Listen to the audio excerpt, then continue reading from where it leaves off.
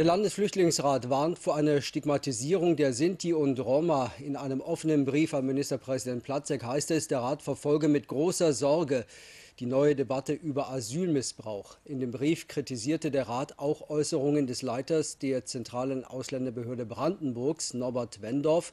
Er hatte behauptet, die meisten seien Wirtschaftsflüchtlinge aus Serbien und Mazedonien. Das aber weist der Flüchtlingsrat zurück.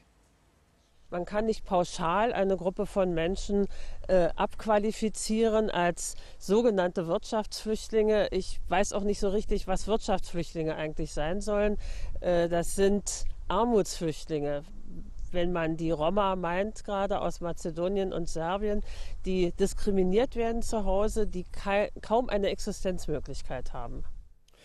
Ja, und die Bündnisgrünen im Landtag unterstützen diese Kritik des Flüchtlingsrates. Die innenpolitische Sprecherin Nonnemacher erklärte, auch sie sehe die Gefahr, dass gegenüber Flüchtlingen ein Klima der Intoleranz geschürt werde. Zivilgesellschaftliche Erfolge, so fordert sie, dürften nicht zunichte gemacht werden.